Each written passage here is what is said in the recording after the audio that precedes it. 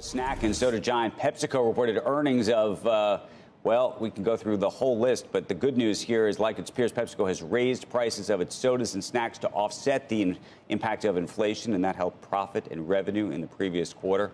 Looking at the stock up 1.68% right now. For more on those first quarter results and insights on how the consumer is faring, I want to bring in Hugh Johnston. He is Vice Chairman and Chief Financial Officer of PepsiCo, also serves on our CNBC Global CFO Council. Uh, these are some good. Uh, these are some good numbers, and we were talking about the, the winners and losers during this quarter, and, and you happen to be a winner. What's happening here, and, and can you hold margin in this environment?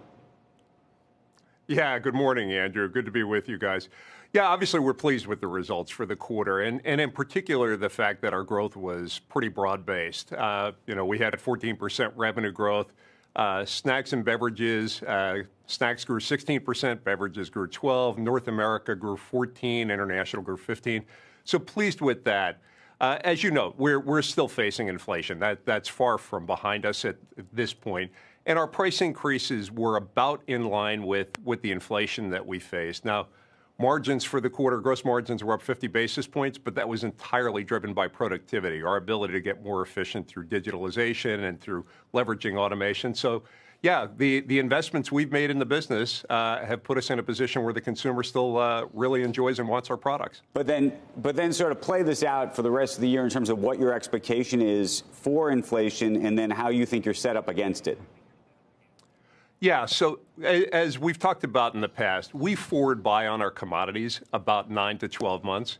So I, do expect at some point we'll see some level of moderation in the inflation levels, but uh, the things that we're selling right now, we, set the price on nine months ago in terms of the, cost of inputs. So we'll see inflation reduce. It's still going to be up, but it'll be less than what it is right now, and it'll still be up at a pretty high level through the course of this year.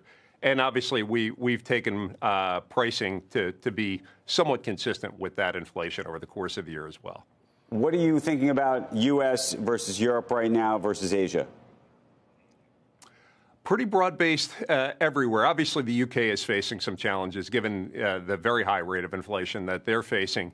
Uh, Europe benefited clearly the consumer from a from a bit of a mild winter, so certainly uh, holding up a little better than we expected. U.S. consumer in our categories uh, is holding up quite well. Now, I know in, in some of the more higher uh, higher priced items that, that we're seeing report earnings today, uh, the consumer is suffering a bit more there. But from our perspective, consumer tends to be uh, tends to be doing fine.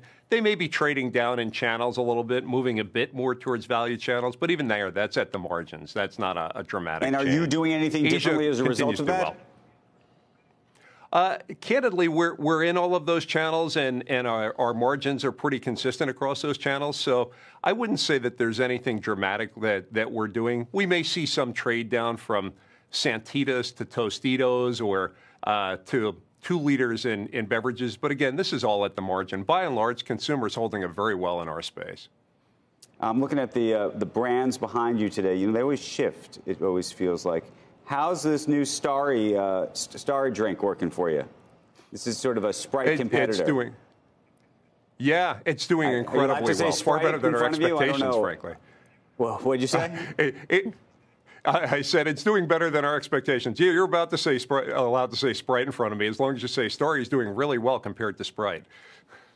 Compared, it, it, I mean, on a growth basis, or how, how are you measuring that? Yeah, just the, the size of the business. Uh, you know, it, it, it could be uh, a multi-hundred million dollar business this year. This year. It, it's come out of the blocks that quickly. It's a great tasting product.